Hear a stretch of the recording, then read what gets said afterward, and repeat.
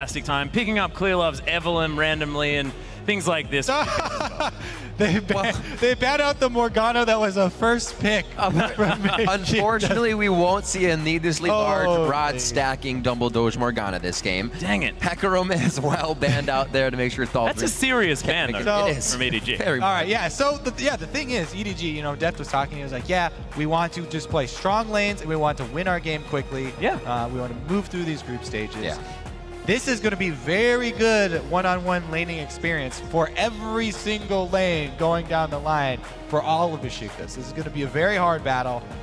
And Edward Gaming, let's see what sort of uh, early picks they want to go with for strong lanes if they want to go. Well, there's uh, EDG's Kalista being picked up that last game that made an impact. It gets banned out this time. We're good on top of it. And Urgot as well, like you said. Ahri goes towards Energy. LeBlanc quickly thrown at Pawn. We're going to see what Koro decides to go with this game. It looks like they may lock themselves in some early jungle. Yeah, might be that Rek'Sai there for Clear Love, and I like this. Just make sure he sticks with his early Yeah. pressure, and we've seen his level two ganks getting first blood after first blood. May as well stick with it. If you want to win early game, you want to go with Rek'Sai then. Or Quinn, Yeah. right, Kobe? Perfect. Exactly right. Oh, Mid but- lane, of course, right? For the roaming. Yeah, but I wouldn't actually be surprised if Thaldrin picked Riven here. It's one of his favorite champions. He loves that. They have been playing that over in the Turkish league, and why not pick your favorite champion and have fun? I'm waiting for the actual lock-in. He keeps hovering. I know, I know, Favorite but I just- champion, I just wanna see him and I- actually do it. And I feel like he will do it one of these days. One of these days. Sivir definitely may be for an option for or for them. Oh, yeah. Getting into these fights against EDG is going to be something they need to do and make sure that Edward Gaming is always pressured. Oh. The Rumble gets locked in for Thaldrin. Definitely can make an impact in the top lane with him. He wants uh, the best experience you can get. He says, "Show me your Gnar, Koro. I Yeah. want that taste. Let me True. experience this." Yeah, with thing." that Hecarim ban, that's just about what left is uh, rather left up. We did see Maokai making a big impact last game. I don't know if it's going to be the same here. Thresh being hovered over by Pawn. That would be a pickup for Meiko, who also has his Annie to go for this game if he wants. Yeah, he can pick whatever he wants here, of course. And Pawn thinking about the Jace, they're very Oh. signature champion for him, but see whether it does actually come through. I actually like Nardeus picking away the Sivir from Deft as well. Deft a fantastic Sivir player, but Pawn now thinking about the Gnar. We're going to see it. Koro's Gnar against Thaldrin's Rumble, and this is actually comfort pick versus comfort pick. Yes, it is. We'll see how they match up. This is exactly what Thaldrin wanted, right? Yeah. top lane experience. Now, the, re- the reason that I'm not really thrown by that Jace hover over is because you can't really, since the top lane has been whittled down like this and you're expecting an AD top laner, uh, you can't really afford to run an AD mid laner in the state of the game. In Cinderhulk, there's no way any team gets away with stacking one type of damage any longer because there will be a tank on the other Right. team that will stack that resistance. The thing that I'm really scared about for Besiktas here is the fact that Deft is basically undefeated on Jinx. His Jinx is incredibly strong. Jinx does incredibly well against Sivir. Very true, and it kind of seems like um, Besiktas kind of want EDG to pick these champions that they have all these undefeated and close to undefeated records on, so they can, you know, experience what is. The wrath of EDG. I mean, because he, by the way, because he target banned the other two. but it's uh, on the other side, most likely. Besiktas also have a whole lot of comfort picks as well. So it's not like Besiktas have lost out Here- necessarily. here's what they've got. They've got an amazing AoE wombo combo Right. for Besiktas. They've Yeah. got the It's Sejuani still a great, Rumble. yeah, that by itself is enough to destroy a team fight. When you boost it up with Sivir speed, they have the ability to win one of those five-on-five fights towards the middle of the game that they're looking to for the comeback. As Spawn said, probably their best chance here is group up and try and get some AoE done. Yep. Hover in that Zed, but like you said, you. Kobe may not be that AD that they need. It's the AP, and they lock in the global, the twisted fate for Pawn here to be making some plays and affect every lane in the game. This the is double fun. globals. Yeah, this is going to be fun. the, the Twisted Fate Rek'Sai. Yep. So many plays with Well, the triple teleport. global, isn't it, Yeah, really? you got to teleport in the top lane. So uh, cross map plays aplenty. It's a very good answer to a team that wants to group up as five. Yeah, but Energy probably wants to split push a little bit if he's going to go with this Diana pick. And decent lane matchup there once he hits level 6 against Twisted Fate, you have to think. Definitely uh, the assassin of choice very good chances as long as they don't, you know, come out of laning phase with a huge deficit. Right. Usually the control is Pawn pushes that in and he disappears from the lane. And Also, the problem is with the three global teleports, Mm-hmm. One person split pushing is never just one person split pushing. Right. Could easily have several members teleport in to even the numbers. yeah, you can't exactly take the fight to the teleport guy this game. Yeah. There's always going to be another one. The, the old adage of uh, go to the source of the teleport that I was talking about in season one of the LCS is much harder to pull off when there are three sources of teleports. Well, they've actually got four global abilities, don't they, really? Because Deft also has a Super Mega Death Rocket he can throw into the fray. EDG can sort of be everywhere at once offering damage. It's ridiculous. But Thaldrin, he's got a teleport as well, so they've got a little bit of global pressure. But we'll see what Besiktas can do with what they've got, because the Theocles on a power pick there in the Sejuani has shown that he can perform well on that one. Nardeus can start up the fights with that on the hunt and has shown some fantastic Sivir play in the past. Yep. We'll see how this one's going to work out. But they do not want standard lanes. My God, do they not want standard Besiktas picking into the fight comp, something EDG loves Oh, to yeah. do. So we are going to get another game of brawling. We have had awesome games so far here at the second day of the midseason invitational, and it's only going to get better. The crowd is ready to get into these next games as well.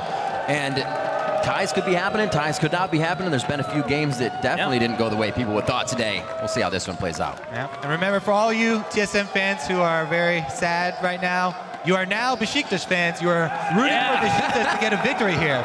So Besiktas should win this fan vote if all of the TSM fans are now voting for them. They move over to Besiktas. Makes sense. All right, as we load up into our third match of the day, let us know who you think is going to be getting an upset by tweeting at LOL Esports with hashtag BJK win or use EDG win if you think the LPL representatives will come out ahead.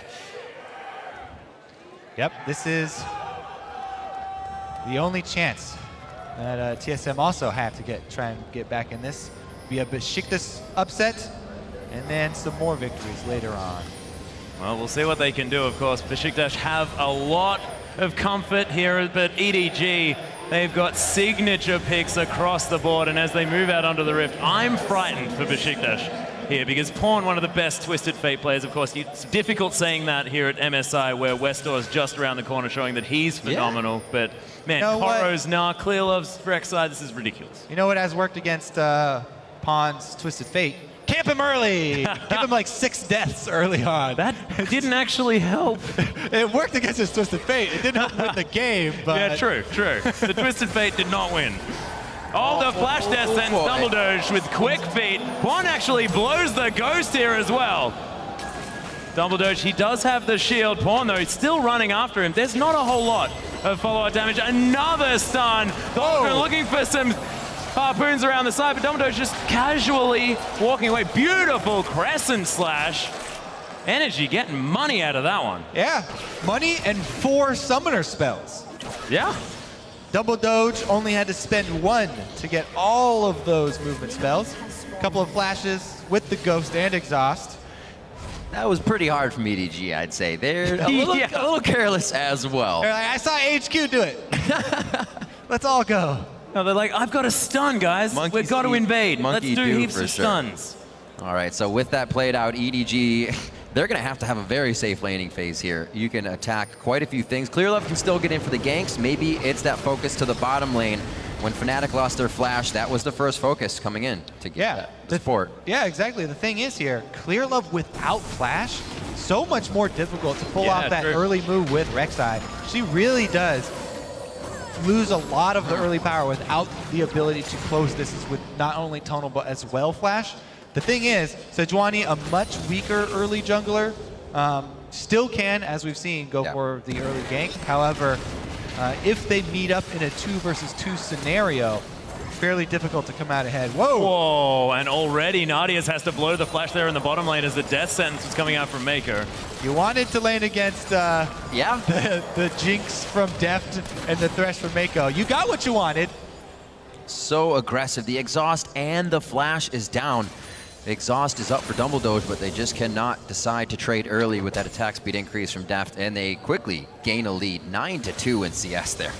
Dumbledoge actually didn't come to lane or come to the Gromp with full health as well after that level one action. So, oh, narrowly missing there on the death sentence. But sort of already at a deficit after taking that early level advantage. Yeah, and we'll see if this deficit holds after the wave shoves up to the turret, because there's potential CS here uh, for Besiktas. Uh, but the point for EDG is to shove them in under the turret and try and, uh-oh, here's that early focus towards the mid lane of Pawns TF. Yeah, Theocles looking for it. Nice moonfall as Pawn's going to flash out of the way. Gold card is available and Energy unable to follow through, but Pawn, no summoners. Nicely waiting there for the Arctic, Arctic Assault and then the Moonfall, as you said, but there should be a rinse and repeat there, as you mentioned. No summoners on that mid lane. And here comes Theocles. Very early, saying wasting no time. We're coming back into this one, but Maybe not. does have a ward available. Curbs it. Clearlove, get over here. I, Yeah. I don't have any more escapes.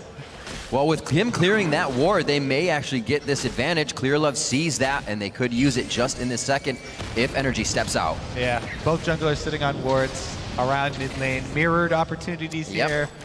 And everybody's sad. Pawn, though. Uh, Ghost Oh, just there's the flash moonfall though as Pawn's in a bit of trouble. Clearlove right around the corner. Energy eating a lot of damage. Clearlove with so much wildcards don't land.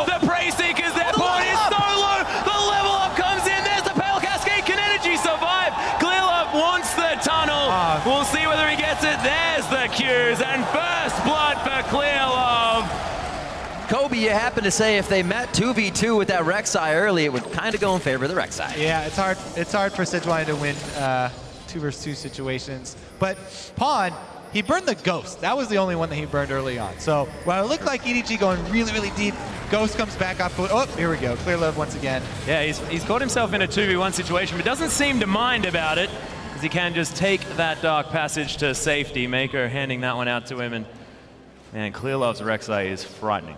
That's such a great composition. We see it a lot from Wolf and Bengi in the jungle as well. The Thresh Rek'Sai, tunnel in, lantern Yep. out, you're good to go. It's so safe. Like, Definitely nice to have a buddy in the jungle. Always. the buddy system working out here for EDG. Koro quite low there on the top side as Thaldrin. He's going to overheat as well. Wants to find a harpoon, but of course he's silenced, so he's not going to be able to. But Koro getting pressured out early. Yeah, so I always really like watching the uh, Gnar Rumble matchups. It's very telling of top laners and a really good way to judge them because it's so easily tipped. Um, it really depends on who's willing to play more aggressively early on uh, because the first one to get that small advantage can then snowball it, but early on, uh, unless you have vision of the jungler, it's very risky to go uh, that, that hard. That was interesting from Koro. He made sure that he wasn't going to regen his health and then teleported. Very strange, but Crescent Slash is going to come through again here for energy, and Pawn not going to get hit by that one. Continues just to shove out this way. Thaldrin going to equalize the teleports in the top lane, so no early dragon pressure. Uh-huh. He's not even level 6 yet, man. It's not that funny. Um, I think the teleport before Health Pool uh, got back up was because there were minions dead. Yeah, but Dumbledoge, oh, he's going it out solo. Really nice death sentence, but there are three members. Death gets excited as he takes down the Janna. Destiny coming in. 90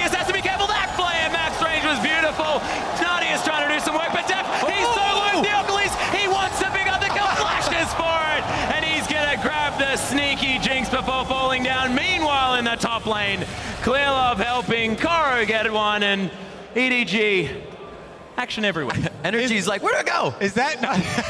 well, energy. He should have tried to. I think he did try, but he should have tried to uh, go on to Pawn Right, uh, as he was teleporting because he was in vision. But that's probably why Pawn uh, came in with a blue card. But anyways, is there any better feeling of getting ganked by a jungler and coming away with the kill for the Or a bottom few lane? kills on top of that. Yeah, and then on the top side, as we saw, you this is a matchup that you want to play aggressively and you want to, Yeah. uh, you know, trade damage without backing down. But if you don't have vision of that jungler, the first jungle gank can turn change the entire situation up in that top side. And Clearlove's the one to get up there because obviously Sejuani was ganking bottom. And also now, Koro, he's got the Hex Drinker in his back pocket. This matchup is going to be a whole lot easier for him at That's this it. stage. Just keep up in the face of Thaldrin, try to shut him down. You can see Meiko trying to get the wards in so they can now close in. Nardeus, they just do this without hesitation. Nardeus took a few seconds to look at the minions, and now Oh, he's too oh, close in beautiful range. play. Played onto the Chompers, and these guys are using everything they have. A grab onto Dumbledoge as well as Deft keeps Oh. the correct oh. focus onto Nardeus, and the one-two punch comes up clean for EDG. There's just nothing missed from Meiko at all. Not at all. Great Ah. synergy between that bottom lane. We said before there may be a two different languages there, but they play as one mind. They certainly do. Energy is going to manage to back. He's been putting on a lot of pressure here. Oh. Actually, Heyo. Oro looking for it in the top lane. Thaldrin's going to Oh. flash into the wall in celebration. That tree is huge. So, to be fair, the Hex Drinker had nothing to do with that. that No. was just one versus one outplay, and a really good job of Koro jumping on another opportunity for himself. But man, uh, remember as well, this is the Deft Jinx. Oh no, Still Deft undefeated. across the wall into the chomp is Nardeus, not going anywhere, and Deft is gonna pick up another one. the sonar hook. Oh, So nice. me, that was ridiculous.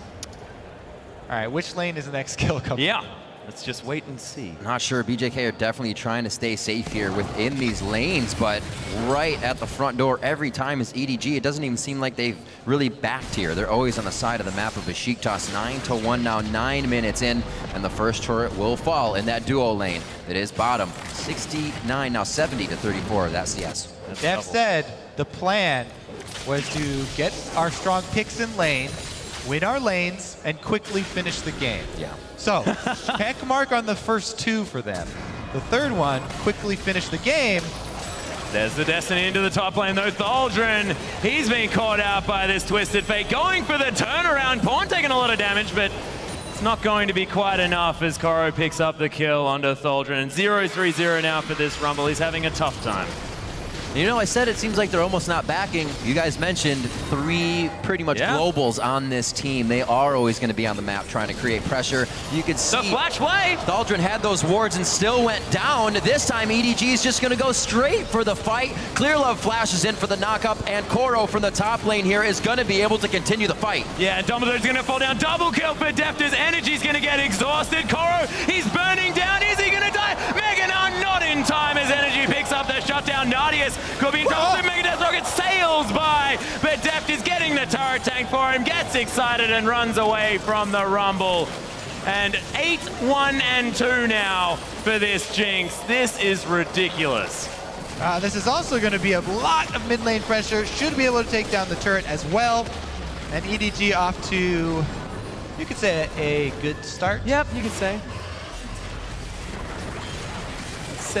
7,000 gold to lead at 10 minutes, Yep. 11 minutes.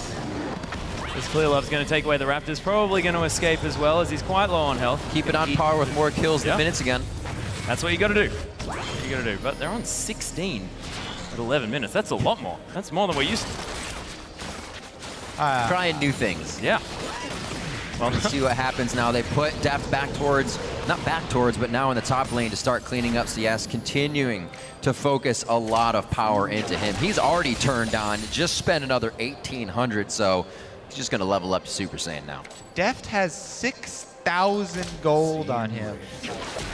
11 and a half minutes into the game with eight kills. That's more than double the gold. Yeah, you look at the other side. 3.2 thousand gold ahead of his lane opponent. All right. Gosh. Well, let's see. Besiktas, what can they pull? Defensive warding uh, helps to an extent, but the other team has Twisted Fate. So trying to pull a Right. five-man ambush from a bush, you know, with some vision. Still probably the best hope. However, Pawn Pop is all, everyone gets found. Yeah, there it is. The Yes, Besiktas. Esports Club standing true behind their team.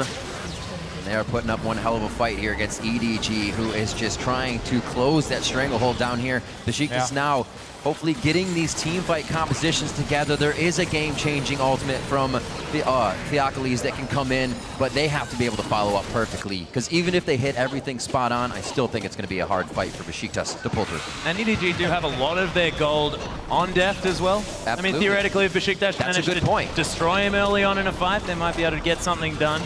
We're looking for a way for Besiktas to get back into this one. We'll see whether they can actually manage to follow through on that because they're losing their turrets. They're going to have to try and find that fight sooner rather than later. Yeah. All right. So more likely, we'll take a look at how quickly EDG can execute the victory here because this is this is their goal now. Yeah. Is you mentioned the time before.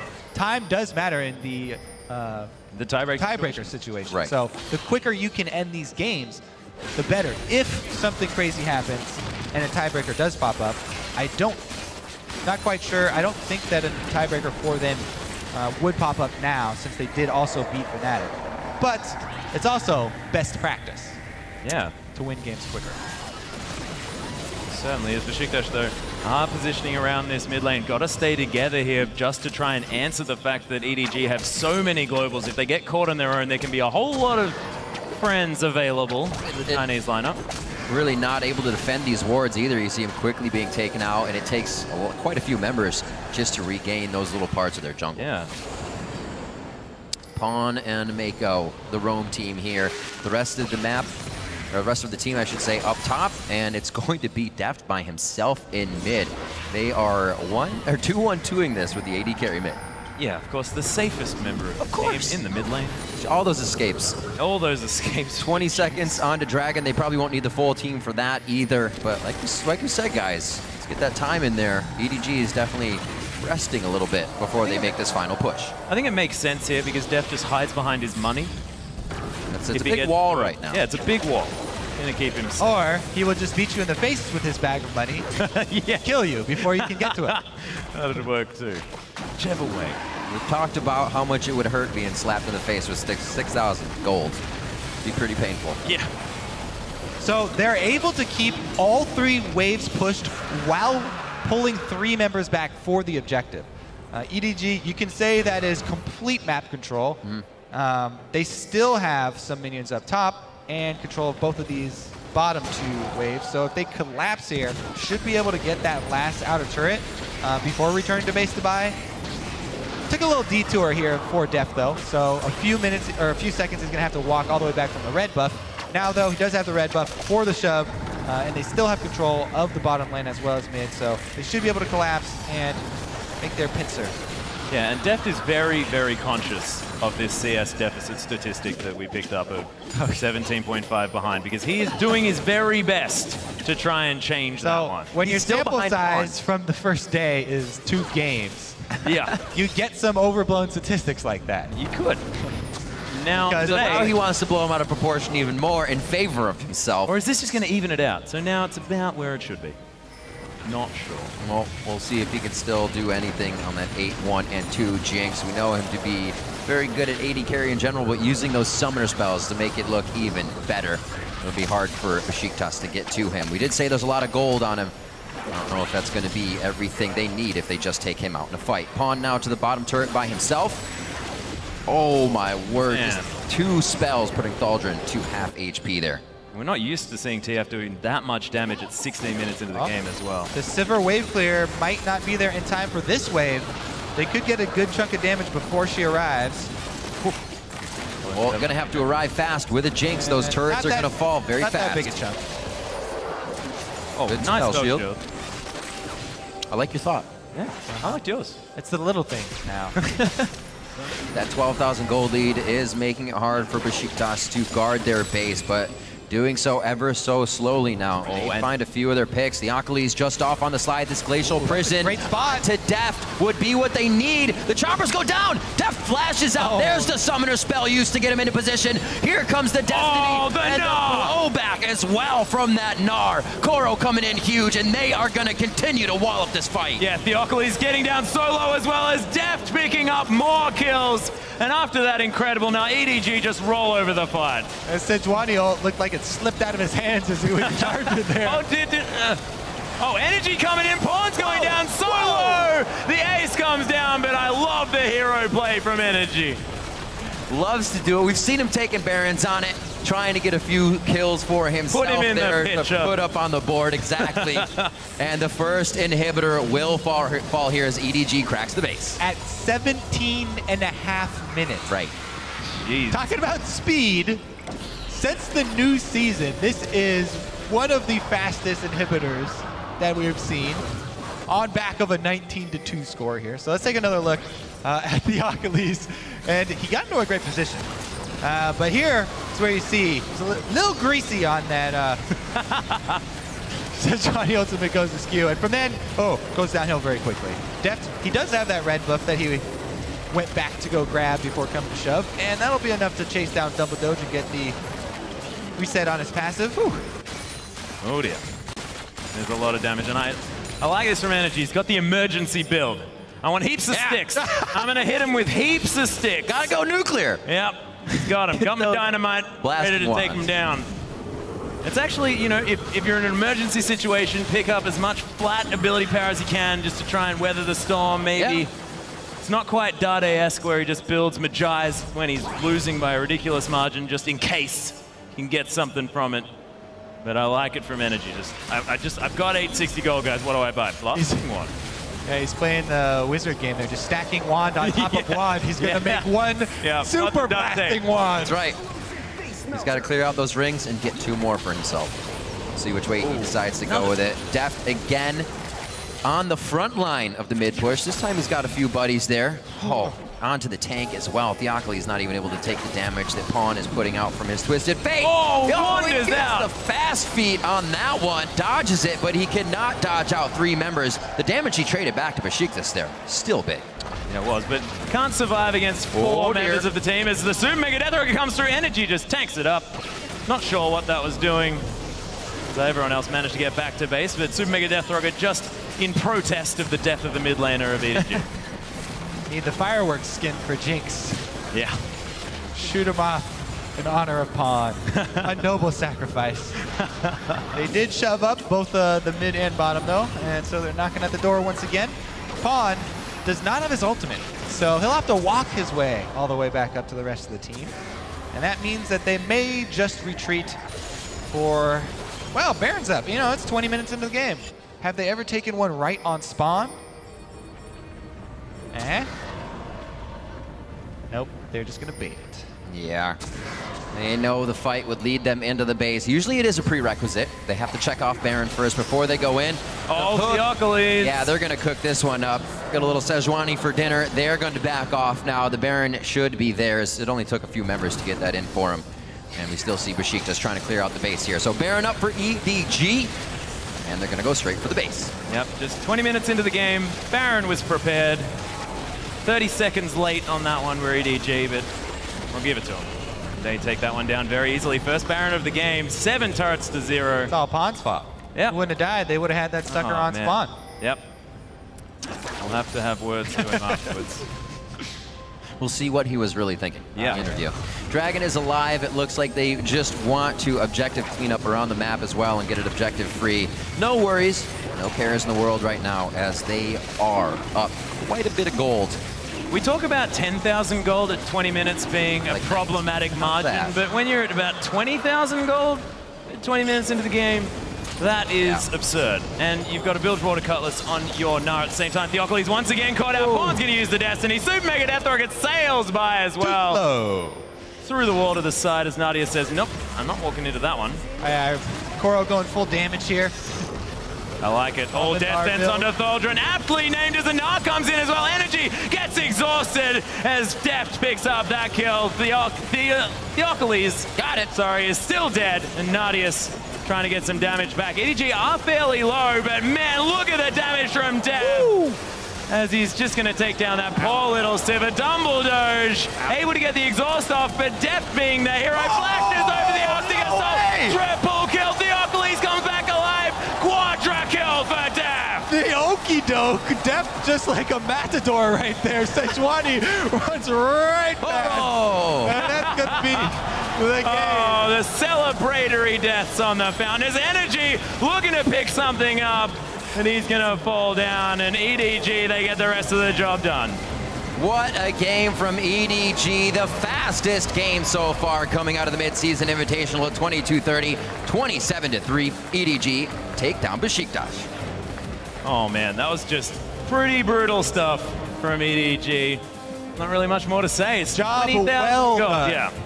that game. Very well done there from EDG. And they delivered on everything that Deft said they would in the interview. Talk about timely victories. 22 and a half uh, minutes here for EDG.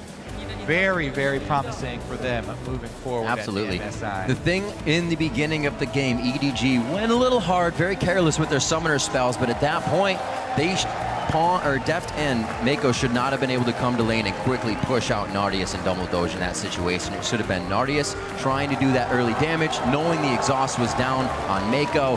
They lost a big advantage there in that early part of the game. Bottom lane was definitely brutal for them. Mm-hmm. And it was just Meiko and Deft showing off how incredibly well they played together as a unit as well. I mean, Absolutely. these death sen- sentences across the side coming through, and man, it's just it's they're a frightening bottom lane to contend with, no matter who you are. Absolutely. And for a closer look at EDG's win, let's check in at the analyst desk.